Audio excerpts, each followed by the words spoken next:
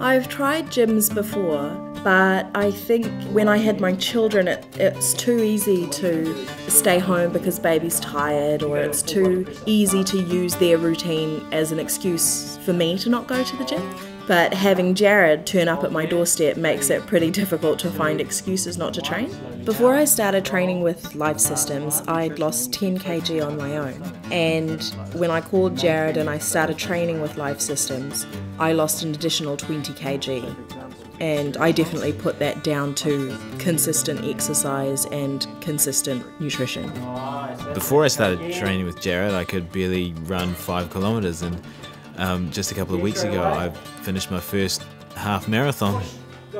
I lead a very hectic lifestyle, and so I've never really had time to, to go to the gym, or if I had joined a gym, I usually would go for a couple of weeks and then stop. Um, and so, Life Systems has really worked well because I can dictate when and, and where I train.